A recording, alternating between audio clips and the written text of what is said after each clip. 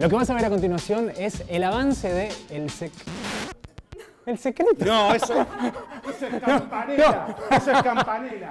No, no, no, pará. Va, toma- vuelta, toma dos y hacelo Toma bien. dos. Lo que vas a ver a continuación es el avance del espejo de los otros, la nueva película de Marcos Carnevale. Muy bien, Marcos Carnevale. Presentame vos a mí ahora. Javier Ponzón. Ahí está. Este es el avance, disfrútalo.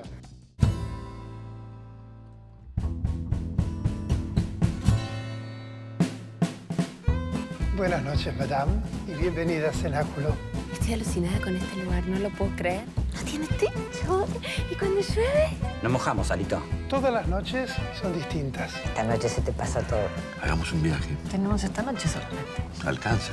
Acá lo importante es que cada uno sea lo que es. Pepe, quiero que me seas sincero con esto, porque vos sos un gran generador de elencos, director, productor, actor. Me imagino que cuando te llega la propuesta con tantos actores, se te apareció por la cabeza, che, esto va a funcionar. No, con tantos elencos que, que- que armaste, no, se te pasó por la cabeza A mí eso. nunca se me pasa por la cabeza nada. Cuando Ah, bueno, Lecture me dijo, hay 5.000 localidades, dije, bueno, yo estaba haciendo ahora con mi madre que iban menos 8. Nunca, yo, yo no, no, no pienso. Te mandás. Sí, creo que son los, de las virtudes que tengo. Me mando, no pienso nada. Hago luego, ¿no? Sí. Y no, no- está bien, 5.000 bien, ya está bien. Todos ellos, qué bien, que está bien. Necesito a Marcos, necesito, por supuesto, a ellos. Al luego. director, obvio. Claro, pero yo soy muy, muy buen, eh, cuando me acuerdo tanto Priscila como acá, también la- los técnicos, o sea, me decía Marco, no, uy, Pepe, que dicen que es tan difícil, yo no soy nada difícil y lo demostré siempre, ¿no? Cuando Valeria me dirigió en Priscila, soy el, ahora Ricky Pashku me va a dirigir en Tiempos Relativos, o, o él que me va a dirigir el año que viene en una obra de teatro, El Vestidor, con Machín y Lapicchio.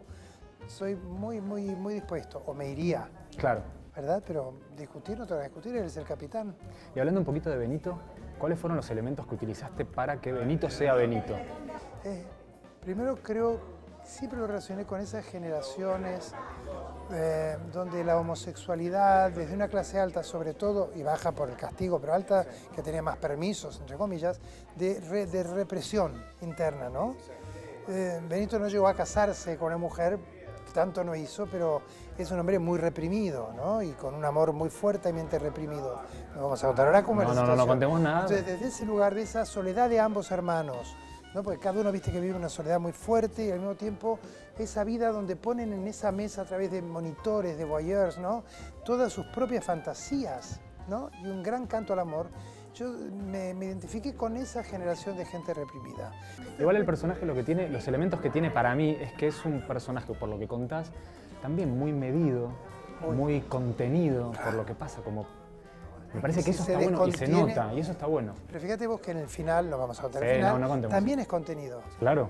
Y eso fue la Borges que me dijo un día, antes de empezar a enseñar, me dijo, porque si vos en la vida, claro que lo puedes hacer también en el cine, lo puedes, que decís, hijo de puta, es, es fuerte, está bien, puede que requiera, pero si no, vos decís, sos un hijo de puta. En esa situación del cine del primer plano, Sí. y, a- y así fue lo que trabajamos, ¿no? Esa escena tan brutal con ella, donde viste que estoy impávido de ese lugar, pero tan Tremenda la fuerte lo que le digo, y creo que sí, pues me gusté y sentí que mis miradas, digo, guacho, mira las miradas que pongo, esos tiempos. Ah, había todo un subtexto. Alguien me dijo el otro día que le gustaba más mis silencios a veces que mis textos, no porque no le gustan los demás.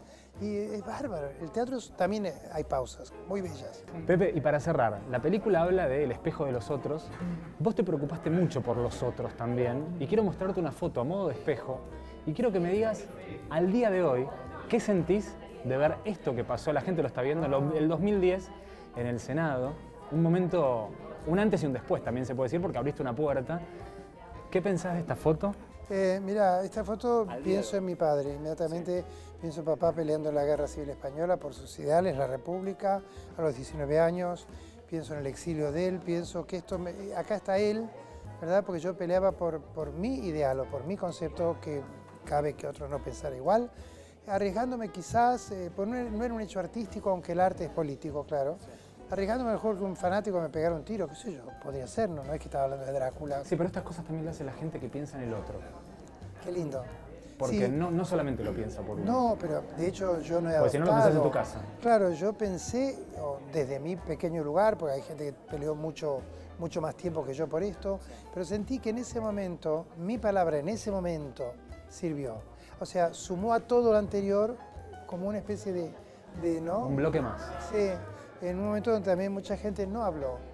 Y yo creo que fue uno de los pocos que habló, no sé si, sí, muy pocos. Sí. Y ahí entonces siento que es donde el hombre se compromete ante sí mismo, ante y ahí me causa orgullo porque lo que luego vino, que tiene que ver con la gente, de pronto acercárseme señores o señoras con pelo muy caro y eran con abuelos, y me decían, Cibrián, gracias por ayudarme a pensar. No me decían, usted me, ahora pienso, Sí, de otra sí, vez", sí, pero me ayudó a pensar, o sea, a entender que había otra propuesta más allá de la sexualidad. Pues una palabra homosexual, siempre que pensaban en cama.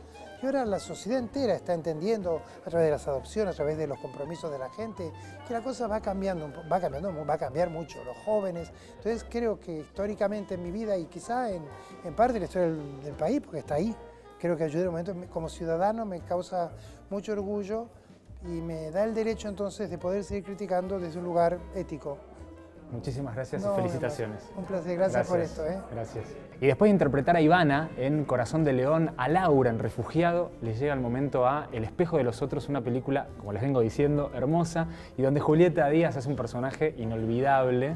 Esa es la palabra que le quiero poner. Vayan a verla y van a entender por qué. Gracias eh, por este ratito para hablar de este personaje. ¿Cómo estás? Bien, muy bien, gracias a vos. La niña, todo, todo perfecto. Todo muy bien. Todo muy bien, me encanta. Muy contenta. Bueno, hablemos de este, de este personaje y de la dupla que tenés con Oscar y esta última cena que tienen en este lugar tan particular. ¿Cómo fue el trabajo en el set, en el rodaje? Porque la, la historia es muy movilizante, pero quiero saber qué les pasaba a ustedes en el minuto a minuto. Mira, nosotros habíamos trabajado juntos con Marcos Carneval en muchas cosas, en televisión, como autor, como dirección, como director, en teatro, como director, y en cine también en Corazón de León. Así que, y además somos amigos, nos conocemos mucho. Y con Oscar también somos amigos y también trabajamos mucho, así que por suerte el set era muy relajado. Yo estaba con mi nena de tres meses, que me fui con mi mamá y con la chica que me ayudaba un poco con la beba. Este, mm, así que este, por suerte no se filmó, eran, fueron dos, tres días de filmación y algunos días de ensayo. Así que para mí fue lo primero que hice después de tener a Elena. Eh, pensé que iba a estar mucho más desconcentrada y iba a ser más complicado, pero Elena estaba muy tranquila. Así que mm, yo pude trabajar muy bien y como te decía con Oscar y Marcos nos conocimos, así que fue teníamos, es una historia riesgosa porque es una historia de un reencuentro medio fantástico en la que esta pareja hace muchos años estaban juntos, tenían un hijo, ella muere en el mejor momento de la pareja, cuando el bebé, cuando el nene es chico y queda como cristalizada en ese momento la, la- la pareja, pero ellos habían hecho esta promesa en el libro de visitas eh, De volverse a de encontrar. volverse a encontrar a los 60 años de él. Entonces, en su cumpleaños de 60 va a festejar el restaurante con la ilusión eh, de que quizás ella que haya algún tipo de encuentro, ¿no?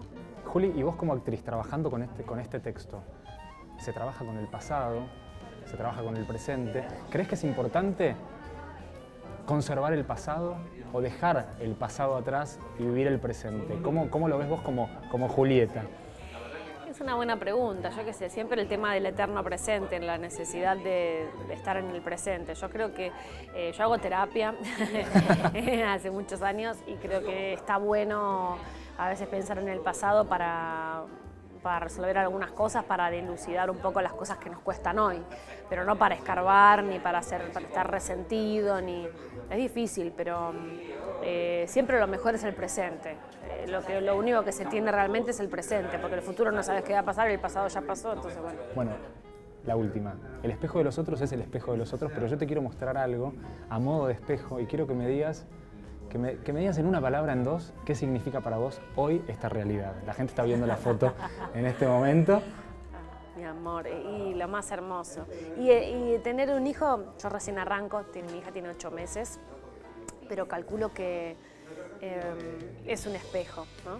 Un hijo de alguna manera es un espejo y no lo es también, porque es, es la vida de ellos, es su vida, Me pero... de una ver la foto. Sí, sí, pero este, no quiere que sea feliz y todo, pero está ahí, ¿no? Sí. Como que lo, lo querés conducir, lo querés, pero tiene su, tiene su personalidad, ya tiene su personalidad, obvio. Este, eh, es un espejo, es un espejo, yo creo que es un espejo, eh, de mi experiencia hasta hoy, es un espejo de lo bueno y lo malo de uno, ¿no? Porque aparece lo más noble y también aparece cuando no tenés paciencia o cosas así. ¿Cómo puedo no tener paciencia con un bebé, Un bebé, no con mi favor. bebé? O, o de repente estar de mal humor y de repente, viste, no sé, como, sí, como, ¿no? Como uno que se empieza a, a sentir como una víctima porque no dormí, no sé qué, porque- ¿no? Y, este, y bueno, y se pone uno en el centro y en realidad son los hijos, obvio, siempre el centro. Así que los, los sentimientos más nobles nos espejan los sentimientos más nobles y los más terribles. Y es momento, por supuesto, siempre de hablar con el director y en esta oportunidad con Marcos Carnevale. Gracias por tu tiempo. Hola Javi. ¿Cómo andas? Bien. ¿Muy bien? Bien. Te quiero preguntar por esta película, Sí. pero en realidad por el elenco gigante que tenés. ¿En algún momento tuviste miedo de que no funcione? ¿Alguna de las historias? Porque Mm. todas funcionan, es un gran balance lo Sí. que tiene la película y me imagino que vos, siendo el creador, el que la escribió, el que la dirige, por ahí en algún momento del rodaje, yéndote a dormir, decís, che, pero por ahí alguna me falla. No, no durante el rodaje, porque eh, soy tan controlador que cuando llego al rodaje Ya tengo todo más o menos probado. Pero sí, eh, mientras escribía, eh, que tuve una gran libertad de, de- de poder convocar al actor que se me antojó eh, y en la medida que me iban apareciendo las distintas historias, me llevaba a Graciela a comer un sushi y le comentaba y Graciela me decía, dale, te la hago. Y me iba a tomar un tecito con Norma y Norma decía, o Julieta, o Pepe, o quien fuera. Todos me dijeron que sí de, de- de una, pero en un gran acto de fe, porque me lo Claro. decían antes de leer nada. Eh, Sí, simplemente con el... María que te dijo, estoy sin leer el guion. Ah, María María Soca. Soca Bueno, María. Soca es como una hermana, una hermana que quiero y, y está ahí Carola también y Norma es, es también una novia que tengo por ahí. Muy bien. Eh, y Graciela es familia directamente, todo, todo fue muy, muy lindo. Pero eh, sí, era un acto de mucha responsabilidad para mí eh, al haber convocado y que, que esta gente me dijera todos que sí, eh, que alguna historia de pronto fuera mejor que otra Claro. o que alguna fuera fallida. Y, y- y de hecho pegué algunos timonazos, no durante rodajes, pero te diría en el preembarque, donde modifiqué Algunas el, el final, por ejemplo, al final le, le di un toque importante. Yo amo a los actores. Anita Pique una vez me hizo un halago muy lindo que me dice, vos sos como Mijalkov, no por el talento, Mijalkov me supera ampliamente. Eh, él no dirige, él ama a los actores. Y yo tengo un vínculo muy, muy afectivo, muy amoroso con ellos. ¿Cómo ves el cine hoy eh, con Relatos Salvajes, con El Clan? Ahora tu película que seguramente va a funcionar súper bien porque tiene un elencazo. Ojalá. Y la película es buena, o sea, la película es súper linda.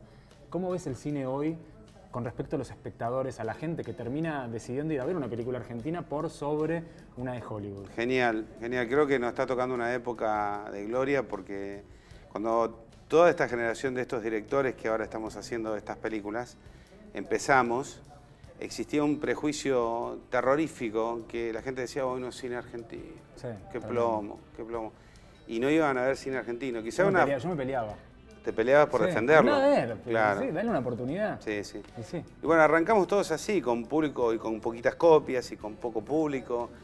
Y poco a poco creo que entre todos, sin crear un movimiento, porque no es que se armó la Nouvelle Vague como en No, Francia, tal y cual, sí. cada uno con estilos muy distintos, eh, fue captando un público, pero haciendo un cine responsable, un cine de verdad, eh, creyendo en ese cine, metiendo contenidos que interesaban, una mirada distinta, un ritmo y no una pretensión de querer ser directores franceses como se pretendió durante mucho tiempo y así el cine murió en un momento dado, fue muy, muy duro. Soy duro, pero es la verdad.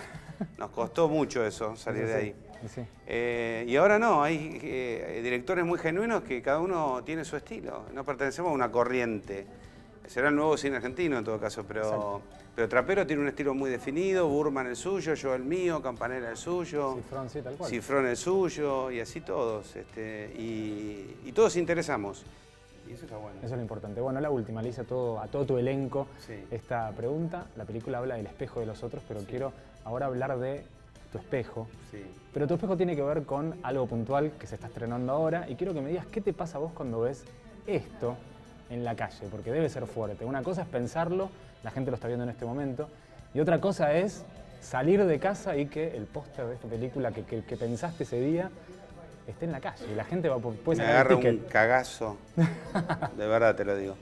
Eh, porque creo que yo, yo soy muy Quijote, ¿sabes? Soy muy mandado y no tengo miedo a nada. Y vos me decís, ¿querés a Madonna? Yo voy, hablo con Madonna y te la No traigo. importa nada, claro. No, te la traigo. Y quise ese elenco y ese elenco lo tuve. Ninguno me falló. Pero después es como que baja la energía y, y decimos, ya está. Ya, Sale la el- película no, sí. ya está. Él me hizo la catedral, los chicos actuaron, Horacio Mayra me hizo la luz, eh, el griego me hizo el sonido y se acabó. Y ahora miro eso y, y me siento como que estoy al borde del abismo, Claro. que no sé quién me va a atajar. Pero, pero es al mismo tiempo una sensación de vértigo muy linda. Me siento que logré algo eh, muy lindo, que, que- que me, no, que no sé si me merezco, pero que me gané que toda esa gente y todos los que no se ven en la película que están detrás confiaran en, mi, en este sueño loco, porque es una película loca, eh, y vinieran. Hay películas Yo- más seguras y más Total, fáciles. te soy sincero con algo. Cuando vi el avance dije, uh, qué miedo toda esta gente. ¿Qué es esto? Que funcione. Y funciona. Sí. Así que vayan a verla al cine. Eh, Muchísimas gracias. Gracias, Javi. nota, gracias. Sos muy amable. Esa gente no puede comer en cenáculo. Cuando me tenés que consultar, no me consultas. Está enojadísima. Vos disfrutás, sádica, sorete. Mira, Sarita, siempre feliz. Es una perra. Yo también. Tendría que haberme ido a vivir con vos cuando me lo pediste. Se supone que eso me tiene que tranquilizar. Escucho música con él nada más. Y charlas, y te reís, ¿y qué más? Ya que vamos a hablar, digamos todo. ¿No te enteraste que dormís con un traficante? Lo van a matar, Iris. Si lo matan va a ser fuera del restaurante. Nosotros no tenemos nada que ver. Esta cena va a ser una mierda. Se me fue el tiempo haciendo lo que los nenes querían. Vamos a la mesa, traer la botella y las copas. ¿Naciste ciego o te quedaste ciego de grande? Sos una mujer muy hermosa. Quiero vivir en paz el tiempo que me queda. Hay mucha gente que tiene una vida de mierda. ¿Quién es este tarado? Estamos muy enfermos. Me arruiné 22 años por amarte condenadamente. ¿Me dejas trabajar? Yo de acá no me muevo, señor. Quiero saber cómo me van a cagar mis hermanitos. Yo soy una persona decente. Hiciste lo que pensaste que era lo mejor. Mi vida, ¿por qué tengo miedo?